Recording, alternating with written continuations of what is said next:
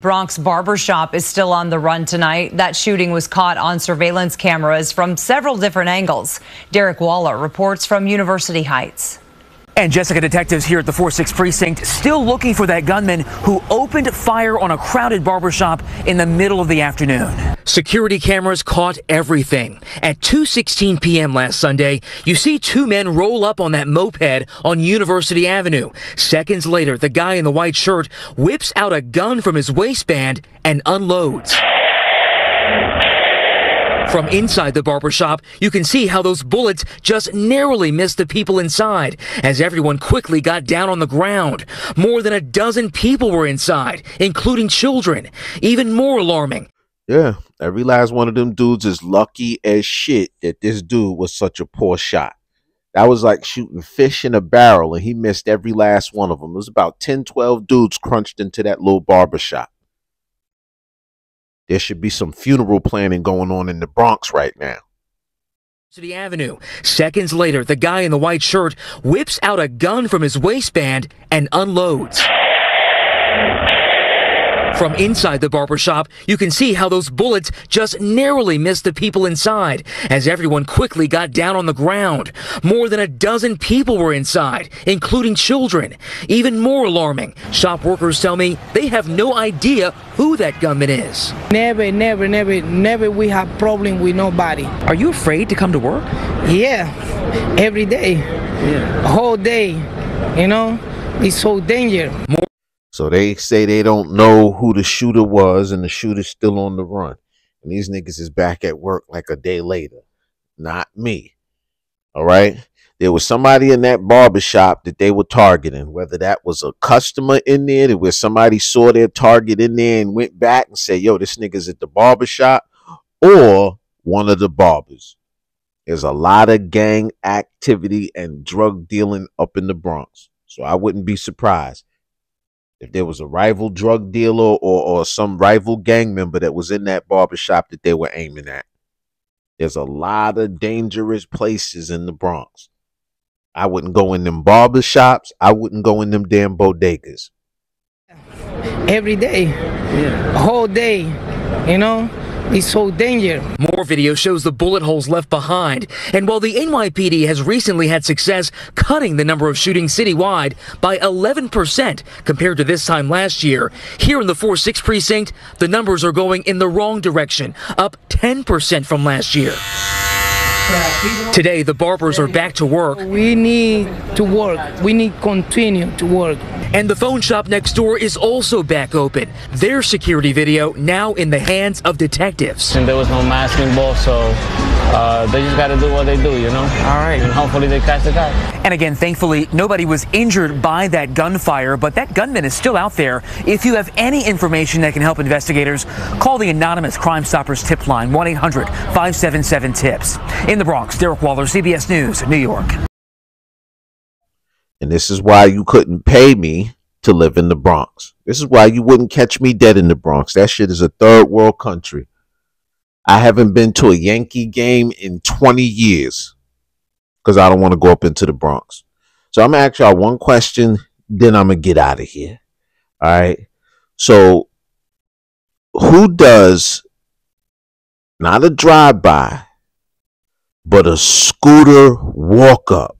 in broad daylight, two o'clock in the afternoon on a Sunday with no mask on? Hmm? Answer that, Einstein.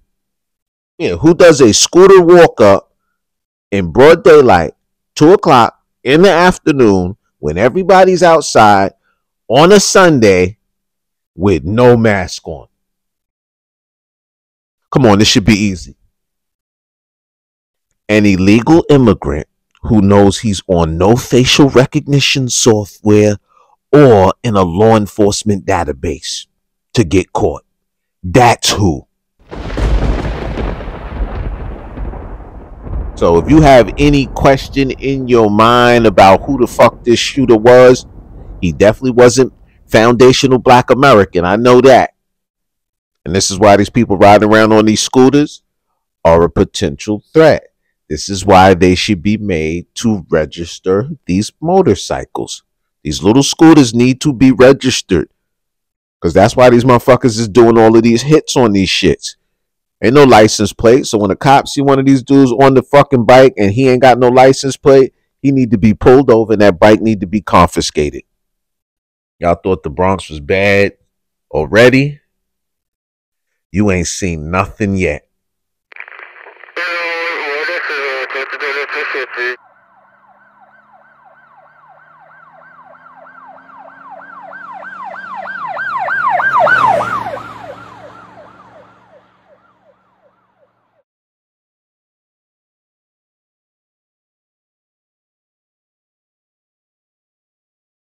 Two teenagers are facing attempted murder charges for a shooting at a Bronx barber shop. For a shooting at a Bronx barber shop. Bronx barber shop. Police say the shooting happened inside a shop on East Gun Hill Road around 645 October 22nd. Surveillance video shows the suspect walk into the shop and fire at a guy sitting in a barber chair near the door. The victim was hit in the stomach but was stable when they got to the hospital. A 17-year-old and 18-year-old 17-year-old and 18-year-old Brandon Beltrez are now facing facing charges. Katie Johnston for CBSN, New York. Disturbing surveillance video of a brazen robbery at a Bronx barbershop. Bronx barbershop. At a Bronx barbershop. A man pulling a gun and aiming it at an employee's head with serious consequences. Oh, they shot him. The drama unfolding on Friday here at the DeAugustin Barbershop. Friday here at the DeAugustin Barbershop off the Grand Concourse on 170th Street around 9 p.m.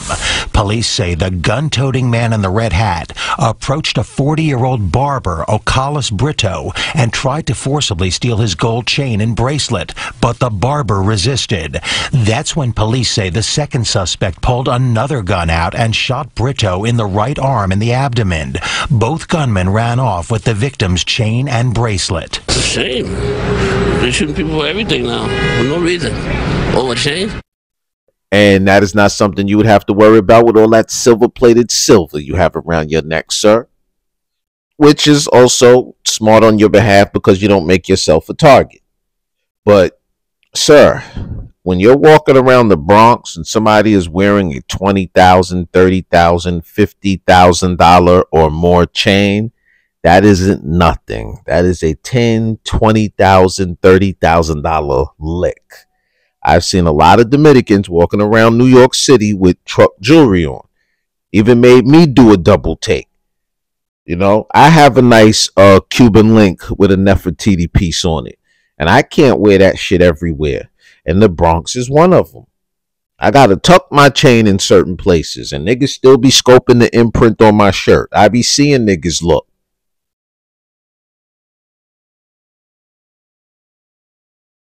And these barbers be having Benzes and BMWs and motorcycles right outside of their shops. So if you live in the Bronx and you broke and you tired of snatching old ladies' purses and getting around the corner just to find $25 and some arthritis pills, yeah, you're going to start targeting these barbershops. It's dangerous, it's strong arm robbery, but you're going with the hope that any gangster that's in there can't use his gun anyway because his gun is illegal. So even if he shot and killed you in self defense, he would still go to jail for possession of the firearm. So a lot of criminals, you know, they use that sort of thinking when they pick out their targets. Both gunmen ran off with the victim's chain and bracelet. It's a shame. They're shooting people for everything now, for no reason. Oh, a chain? Oh, es Sí, porque debe más seguridad. Barbershop employee Carmelo Saldiva tells me in Spanish, quote, it was scary. Horrible. Makes us scary next door as all the store owners. Freddie Igbara is the owner of Zach's Furniture just a few doors down from the barbershop. He tells me Ocalis Brito is a friend, a fixture in the neighborhood. He's a cool guy. He's, you know, everyone in this area likes him. Police say the barber was taken to a hospital in stable condition. Cops are actively searching for the two suspects who they say wore dark clothing, one of them in a red baseball cap. Police say they should be considered armed and dangerous. In the Mount Eden section of the Bronx, Scott Rapoport, CBS 2 News.